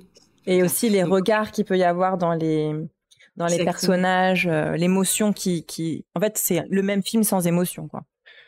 Exactement. En fait, t'enlèves tout, tout le, toute, toute la charge émotionnelle que t'as posée dans ce film, tu la perds. Mm. Donc, t'es hyper frustré. Moi, jeune facochère. quel, quel, quel organe. Bel organe. Bel organe. Merci. Un jour. euh, bon, quelle aurait Ouais. compris que. Ça va se finir en karaoké. Ouais. Euh, non, mais en tout cas, voilà. Je, je pense qu'ils ont, ils ont. En fait, ils ont une stratégie qui est de toucher une nouvelle population, euh, mais euh, ils frustrent l'ancienne, à mon Ouais. sens. Ouais. Non, puis la nouvelle génération, elle- enfin, euh, pour moi, le Roi Lion, il a, enfin, après, euh, voilà, je peux pas, je peux pas dire, je- mais pour moi, il a pas vieilli, quoi. C'est, Il est toujours très bien. ah ouais, franchement, euh, tu vois, euh, au niveau de, de l'image, de la, de la colorimétrie, euh, il oui, y a un vrai il y avait- il y problème. avait- il y avait- bah, il y avait un style Ouais. particulier, quoi. Mais, Bah, euh, ils ont voulu faire les peaux rouges. Le problème, c'est que euh, la peau rouge, ils l'ont faite un peu violette. Et euh, c'est très chelou, quoi. Et euh, la, la peau de John Smith, euh, qui est censée être blanc, donc, euh, est très euh, rose. Et euh, donc, ça fait vraiment un style euh, qui est un peu mal vieilli, quoi. Alors Ouais. que le Roi Lion, on est quand même sur des couleurs qui sont oufissimes. Euh, on est sur un truc... En plus, des couleurs qui reviennent à la mode. Enfin, euh, tout ce qui est... euh, même les motifs et tout. Enfin, je regardais tout à l'heure... euh, je voudrais déjà être roi. Euh, ça, ça rappelle les dessins avec les animaux et tout machin. Ça rappelle un peu les motifs de wax et les motifs de, de tissu africain. Mm. Et je trouve que, enfin, tu vois, et même les types de couleurs et tout. Et, euh, et, et c'est hyper à la mode, quoi. Ouais. Donc ça pourrait marcher chez des jeunes. C'est vrai. Euh, alors, revue Et- rapide des personnages, parce que on, on a déjà parlé. C'était surtout un, pour dire les, les- sur les voix, les voix de doublage, il y a des petites choses intéressantes. Euh, alors, ça me fait penser à une chose aussi, c'est euh, la, quand même, euh, pour moi, douloureuse absence, finalement, avec du recul, de la femme. Il y a très peu de femmes dans Le Roi Lion. Si tu regardes le, le poster de, le poster ici, il y en a zéro, que des hommes. Euh, voilà. Après, il y a quand même Sarabi, qui est pas énormément présente, tu vois, et ça, c'est... Ouais. Bah, si à la fin, on la voit quand même en forte, en, en chef de gang, en chef de clan, plutôt pas gang, en chef de clan. euh, euh, elle est assez touchante, mais bon, dans le film, elle n'a pas une présence euh, phénoménale. Idem pour Nala. Nala, on la voit un peu au début, un peu à la fin. c'est l'amoureuse, mais c'est. Et d'ailleurs, En fait, aujourd'hui adulte, je me dis quand, quand ils se retrouvent, euh, ils tombent amoureux tout de suite en fait. C'est c'est immédiat parce que bon, tu vas me dire peut-être qu'ils se connaissaient avant tout ça, mais En fait, Voilà, je, pense que je pense que bon, il y a, il y a quand même une sorte d'ellipse dans ça parce qu'on passe quand même de ah reviens! Ah tu m'as manqué! Euh, bisous. Padaboum euh, Namougli sous les étoiles. Euh, alors que- donc je, je, je- je l'imagine avec une ellipse en fait en considérant qu'en fait elle n'est pas arrivée depuis trois minutes qu'en fait on considère qu'il y a plusieurs jours qui sont passés bah Euh, moi non, moi que je si- considère pas ça parce que parce que juste avant, euh, il lui dit, il dit à Timon et Pumba genre euh, laissez-nous, euh, on a besoin de se parler, de se retrouver et euh, paf, la chanson elle commence. Hein. C'est enfin paf, Ah non, ils, ils discutent, ils discutent, ils s'engueulent un peu, Voilà. après la chanson commence. oui oui oui mais Mais pour oui, moi c'est moi je pense que c'est juste un truc de, de, de Disney de Ouais. Voilà, il faut une histoire d'amour et, et, et elle est bien trouvée, elle est bien trouvée. Mais, euh, mais voilà, peu de- quand même peu, très peu de femmes euh, dans le roi lion quand même. Non, mais alors, déjà, pour très peu de femmes, et deuxièmement, euh, euh, si on regarde euh, un peu euh, l'histoire de l'Afrique, et même l'histoire, enfin, l'histoire en général, et la monarchie, on est quand même, moi, c'est ça ma grosse critique, hein, c'est, on est quand même sur une vision très idéalisée et fantasmée de la monarchie, quoi. Mm. Euh, donc, euh, donc euh, une monarchie avec Oui. un roi qui est juste, qui protège le peuple, Mm. le, le bon roi qui contribue à, à, à ce que, à ce que le peuple vive heureux, ouais, Oui. lol, quoi. Et, et ce que j'ai vu aussi, parce que là j'ai bien regardé, parce que je m'y mets en fait dans le roi lion, il y a que Mufasa, Scar et Simba comme Ah oui, lion c'est- mâle. Alors que Oui, euh, il pourrait y avoir d'autres euh, d'autres euh, garçons, d'autres lions quoi. Non, c'est que Non, des lionnes. En plus, il y en a quand même pas mal, hein, des lionnes. Euh, Ce qui contredit ce que j'ai dit, mais vous voyez ce que je veux dire. Elles n'ont pas une, une présence phénoménale, mais elles sont nombreuses. Et il y a trois mâles. Donc, oui, parce qu'en fait, euh, c'est une grande. Ouais, ouais. Une grande blague du, d'Internet, ça. hein. Euh, on n'oublie pas que Nala, enfin, ou son père c'est Scar, euh, ce qui a 0% de chance, euh, ou son père euh, c'est Mufasa, quoi. Ah ouais, Donc, non, euh, mais c'est vrai, j'ai même pas pensé, tu vois. Ouais, c'est vrai. Donc, donc voilà, il y a beaucoup ce truc-là. Après, je, je, je, je- voilà, je- je- en effet, c'est clairement un, un harem, quoi, le truc. Mm. hein. Alors, Mufasa, sa voix en anglais, c'est James Earl Jones. Euh, je sais pas si vous le reconnaissez, c'est, j'ai mis une toute petite photo, euh, histoire qu'on se dise quelque chose. Je sais, malheureusement, j'ai plus les noms des films dans lesquels il a joué. Mais en fait, il est vraiment connu pour sa voix très profonde. Je vais essayer de vous mettre après un petit, euh, si on a le temps, un petit euh, extrait euh, du Roi Lion que moi j'avais envie de revoir. Euh, je sais pas s'il y a des, des, des scènes particulières que vous vouliez revoir, mais moi il y en a une que je voulais revoir et que je voulais revoir en VO, euh, d'autant plus pour justement que vous entendiez particulièrement la voix euh, de Mufasa et aussi la voix de euh, Zazu. On va y venir. Et en français, la voix de Mufasa, c'est Jean Reno. Je sais pas si vous le saviez. Euh, on... Ouais, moi j'oublie à chaque fois, mais, mais Moi je aussi, j'oublie. Juste, je voulais te poser une question. Est-ce que vous connaissez tous le rapport du matin? La chanson La chanson, non. matin. La chanson, je l'ai découverte aujourd'hui. Ah ok, trop drôle. Parce que ouais. euh, euh, moi, c'est une chanson que je connais parce que je pense que j'avais le DVD en version longue. Et, euh, et là, ça m'a fait un choc de re-regarder sur Disney Plus Mm. parce qu'il n'y avait pas euh, le rapport du matin. Ouais. Et justement, la vidéo que je veux que je veux montrer, il y a la version euh, originale et il y a la version spéciale avec la chanson. Mais je voulais vous montrer Ah. sans la chanson. Mais alors moi, tu vois, vu que j'ai pas grandi avec la chanson, je l'ai écoutée, je me ouais bon, Mm. ok. Mais ils l'ont repris dans la comédie musicale aussi, apparemment. Trop bien. Euh, notre ami Simba. Euh, Simba, alors la version euh, française de Simba adulte, c'est Emmanuel Curtil. J'ai pas mis de photo ici, mais c'est la voix de Chandler dans Friends, entre autres. Il fait plein d'autres voix, mais c'est entre autres la voix de Chandler dans Friends. Et en anglais, je le citais tout à l'heure, c'est Matthew Broderick, qui est connu pour avoir fait quelques films, et puis pour être le mari de Sarah Jessica Parker. Et euh, voilà. Euh, donc ça, c'est pour Mufasa. Moi, j'étais amoureuse de Mufasa quand j'étais de pardon de Simba. Tu vois, tu me dis que tu étais amoureuse de Mufasa. Moi, j'étais vraiment amoureuse de Simba. Je le trouve vraiment craquant. Euh, notre belle Nala, avec les beaux yeux vert, vert, vert bleu, parce que là c'est un peu vert, là c'est plutôt bleu. Ben, j'ai pas trouvé de personne connue en tout cas qui faisait sa voix, donc euh, voilà. Euh, c'est peut-être aussi représentatif du coup de ce qui était en train de se faire, en sachant que j'ai vu euh, que Robin Williams, qui faisait la voix du génie dans Aladdin, c'est la première fois qu'on faisait appel à une star pour euh, doubler un personnage. Ah, trop drôle. Ouais, j'étais que étonnée. Je pensais que c'était plus vieux que ça, mais apparemment, c'est la première fois. Je, je, je creuserai un peu quand on fera Aladdin, mais, euh, mais du coup, c'était quelque chose de nouveau d'appeler des stars pour faire les voix. On a nos, nos sidekicks euh, Rafiki, euh, Zazu. Donc Zazu qui est joué par Rowan Atkinson en anglais, c'est-à-dire Mr Bean. Oui, tu m'as. Euh, c'est bah, c'est toi qui me l'as dit. C'est toi qui. Euh, dit je, je sais pas si je l'ai dit, mais en tout cas, je, du coup, je l'ai écouté en VO, en VO et il est génial en VO, mais c'est trop drôle. Ça m'a, ça m'a fait rire. Et Pumba, euh, la version euh, anglaise, euh, il est joué par quelqu'un qui s'appelle. Non, pardon. Timon. Timon, il est joué par Nathan Lane. Donc, on voit sa tête ici. Et je me disais, putain, lui, je le connais. Tu vois, c'est le genre de mec, tu le connais. Tu sais pas d'où, mais tu le connais, quoi. Et euh, lui, je le connais parce qu'il a joué Pepper dans Modern Family. Le copain du couple gay qui est très riche. Et il a aussi joué dans The Good Wife. Bon, entre autres, hein, il a fait plein d'autres choses. Mais c'est comme ça que moi, je le connais. Euh, ouais. Euh, Pumba, j'ai pas noté. En tout cas, il a principalement fait Pumba, donc euh, j'ai pas noté son nom. Euh, Pumba, ok.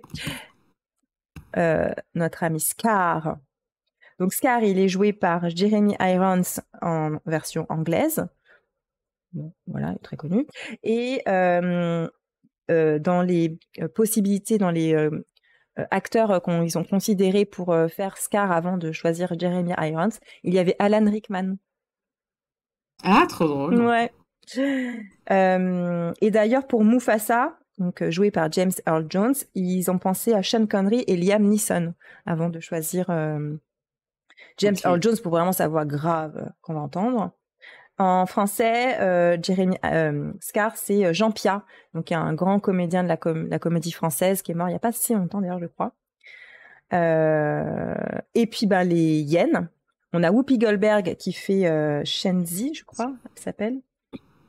Elle, elle voulait faire le roi lion. hein. Elle a, apparemment, elle a réclamé d'avoir un pas. rôle dans le roi lion. connue pour être une peste. hein. Ah ouais? Elle est connue comme. Euh, comment elle s'appelle Celle de Lois et. Lois, Lois Terry Hatcher. Terry Hatcher. Elle est euh, réputée, voilà. Elles sont connues toutes les deux. Et Ah Alicia ouais. Milano.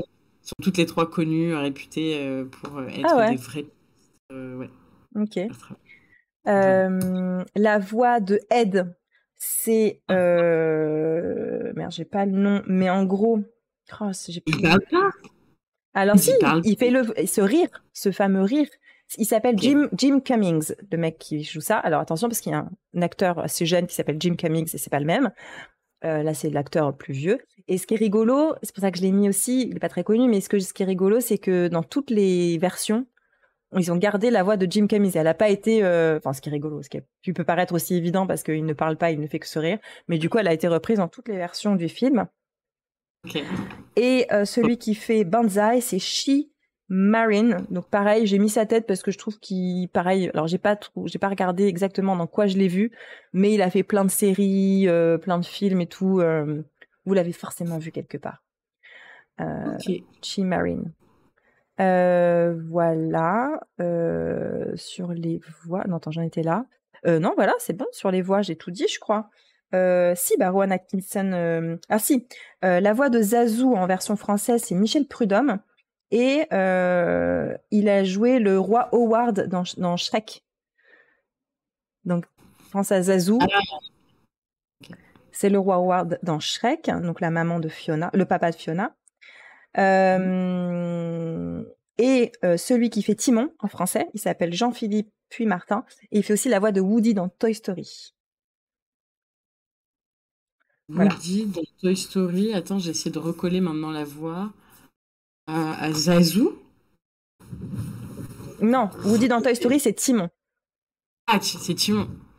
Ah oui, tout à fait. Ouais, clairement. Ouais, tout à fait. Ok. Ah, trop drôle. Alors, je vous mets vite fait la, la scène euh, pour que vous découvriez la voix de Mufasa. Je pense qu'il fait des voix dans Star Wars. Star Wars. Ant to the leaping antelope. But Dad, don't we eat the antelope? Mufasa, Yes, sa voix Simba, but let me explain.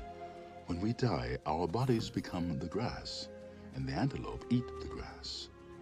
And so, we are all connected in the great circle of life. Good morning, sire. Good Good morning, sir. Checking in with the morning report. Fire away. Well, the buzz from the bees is that the leopards are in a bit of a spot.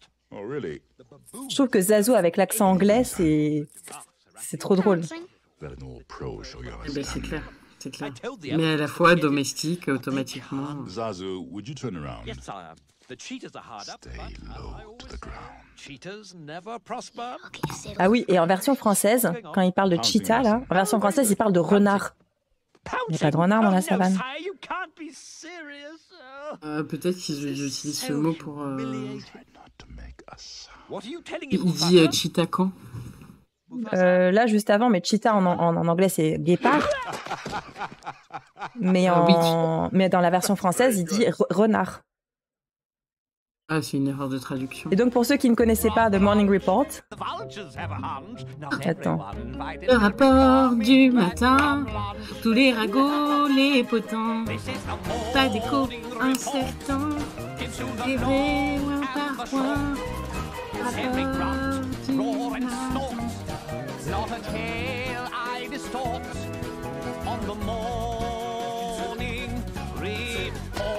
What are you doing, Ça, son? je fais des Patrick. Let an old pro show you how it's done? trop drôle. Quoi, Eh bien, c'est là. Alors, ce que ce que c'est ça, c'est la chanson The Morning Report, qui est dans une version. Ils l'ont ils l'ont coupé au montage. Enfin, ils, sont, ils ont choisi une autre version, dans la version qu'on connaît euh, majoritairement, je pense, en 1994 en tout cas, euh, et qui était sortie en VHS. Mais dans la version DVD, ils, ont, ils avaient aussi mis cette version spéciale euh, avec la chanson euh, du rapport du matin. Et comme je disais tout à l'heure, euh, ils l'ont aussi reprise a priori dans la. Enfin, a priori. Oui, ils l'ont reprise dans la euh, comédie musicale. Donc, je vous invite à aller voir The Morning Report. Et les jeux de mots sont très bons. Les singes font des singeries, les Oui, oui. girafes font le les éléphants, euh, souviennent, mais de quoi? Faut que je me, faut que je m'en- je me souvienne. c'est ça. ouais. Non, c'est assez, assez drôle, effectivement. Et, et j'ai- et c'est en regardant aujourd'hui ou hier Le Roi Lion où je me suis rendu compte de tous les jeux de mots, justement, qu'il y avait, même dans la version euh, courte. Il y a quand même Mhm. quelques jeux de mots. euh, euh, Ouais, Et je ne m'étais pas rendu compte de ça, tu vois, je pense avant. Trop drôle. Et il n'y a pas dans la version de Disney+. Mais je me... non, même dans les bonus, je crois pas qu'elle y est. Euh, donc, il faut la trouver sur YouTube.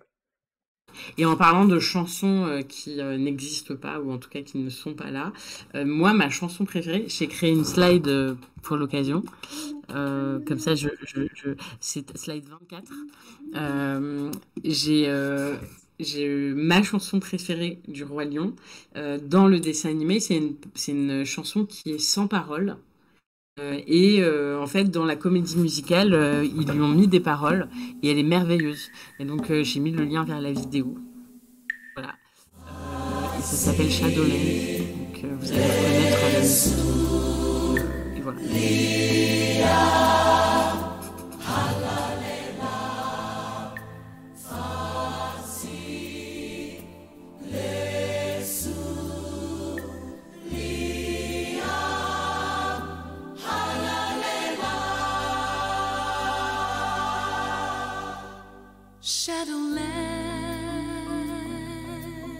Je ne connais pas la chanson à ses camps. Écoute la, la musique derrière.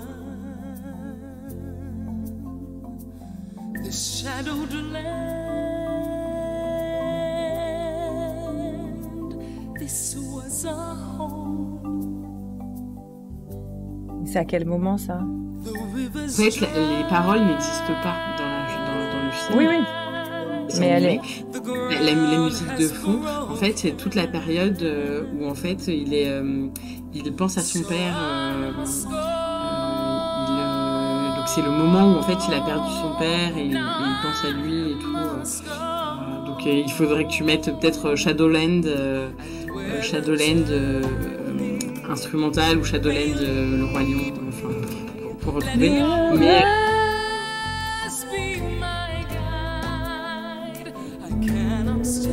C'est bon, maintenant je l'ai. c'est bon.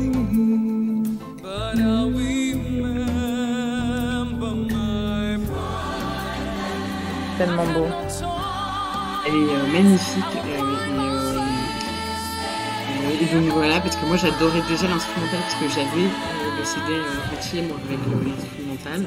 Alors le CD, hein, pas la cassette, donc euh, je l'ai eu plus tard. Euh, et, euh, et cet instrumental là, j'adorais quoi. Ouais, c'est trop bon.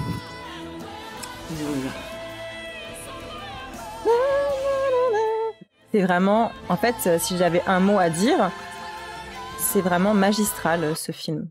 Il est, magistral. Ouais, exactement.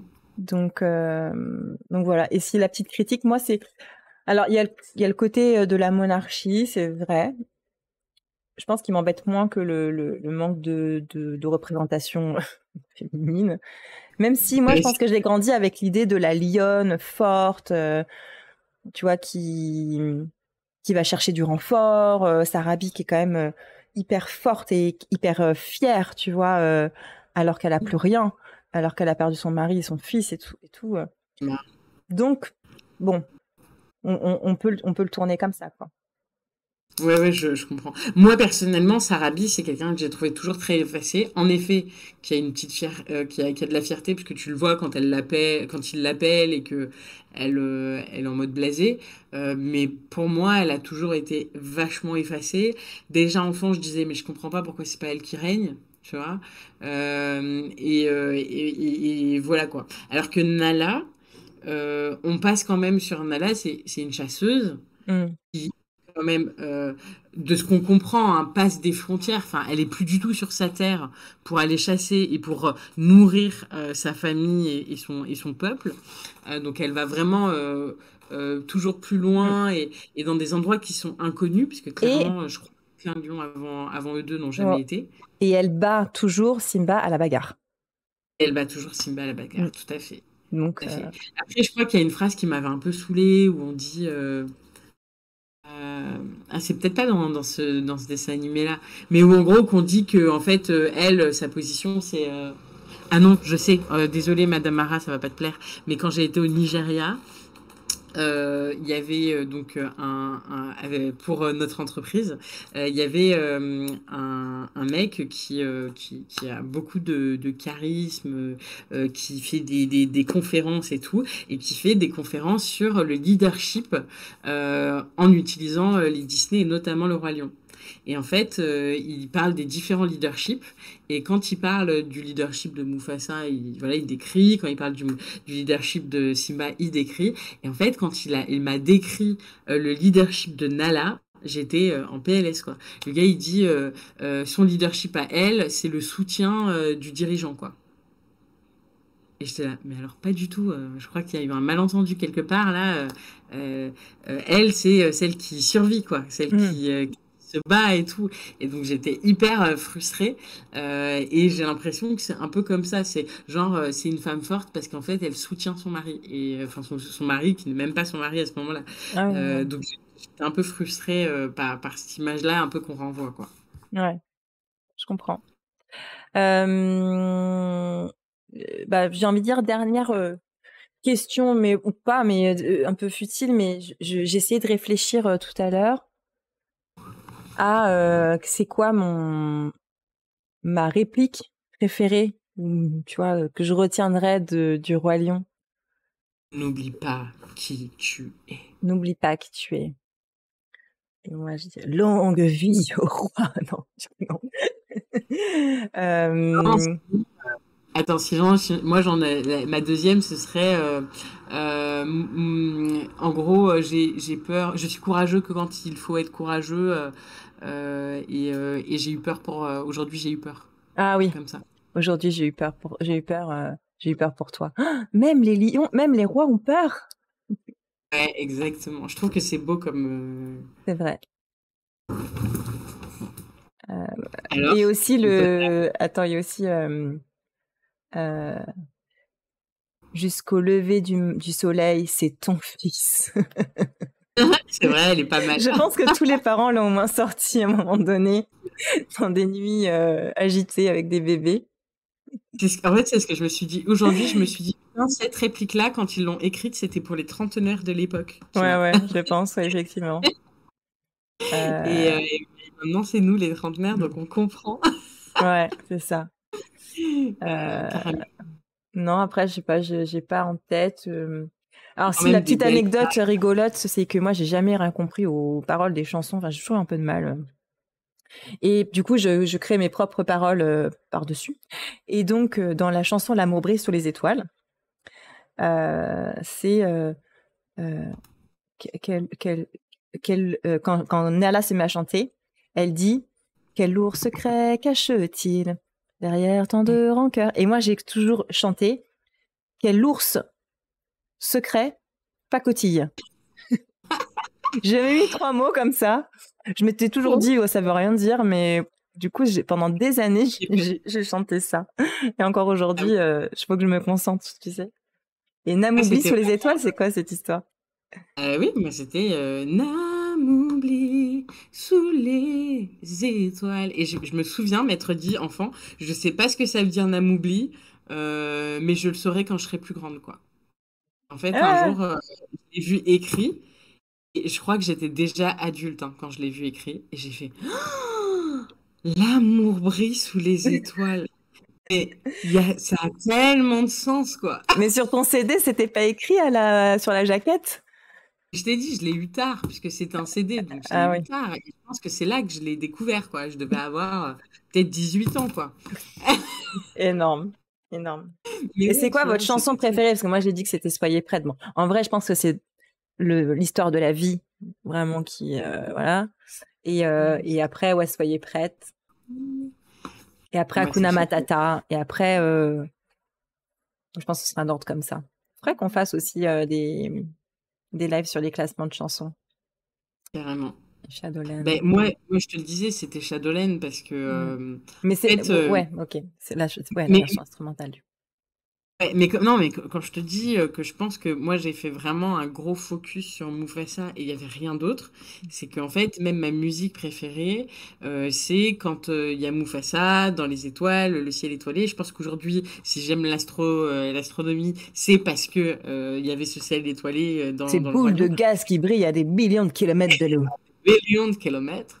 Euh, non, mais exactement, tu vois, j'étais, euh, je pense que j'ai vraiment fait un truc euh, un peu magique de, de cette scène-là. Et donc, même la musique, euh, c'est la musique qui, tu vois, qui, tu sais, mon cœur, il, il, il comprend. Tu sais, il dit, Ouais. hey, je connais, c'est mon truc, tu vois, il Ouais. s'accroche. Je comprends. Voilà. Après, L'amour brille sous les étoiles, c'est aussi, euh, enfin voilà, c'était quand même un grand classique euh, et, et c'était une très très belle chanson.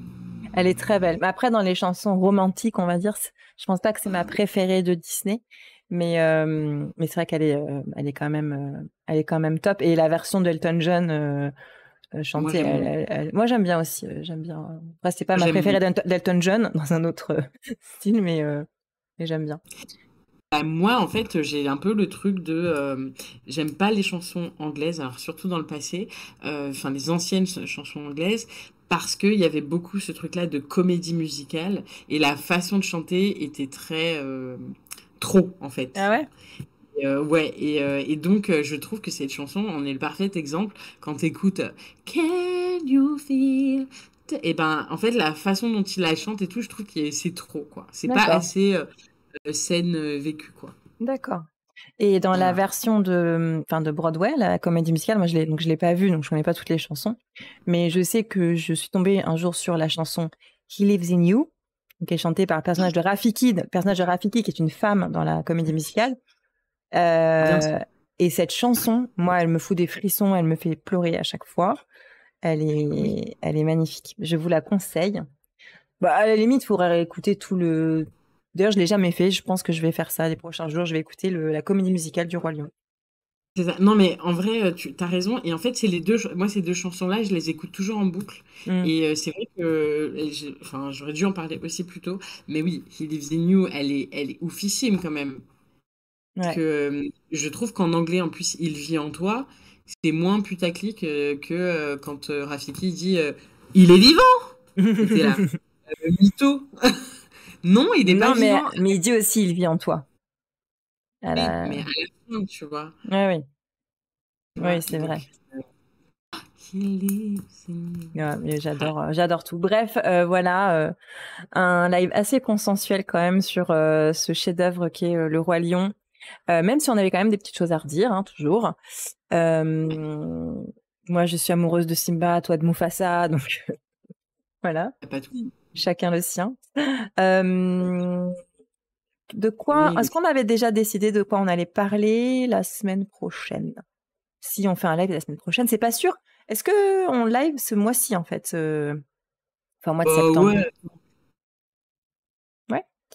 Euh, donc, euh, si vous l'avez pas fait, j'ai pas regardé s'il y avait des nouvelles personnes, mais on a créé un Alors, Discord. Enfin, mon ami Corner euh, a créé un, Discord euh, ben pour qu'on puisse euh, continuer à discuter, euh, qu'on puisse vous annoncer euh, les lives, euh, les retards, euh, les retards ou les avances, les différences euh, de jours, etc.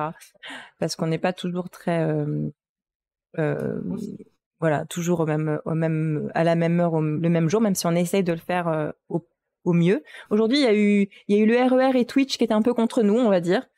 Euh, mais, euh, mais finalement, on a réussi. Et euh, c'est pas de ta faute, Anissa, t'as pas à être désolée, t'inquiète pas.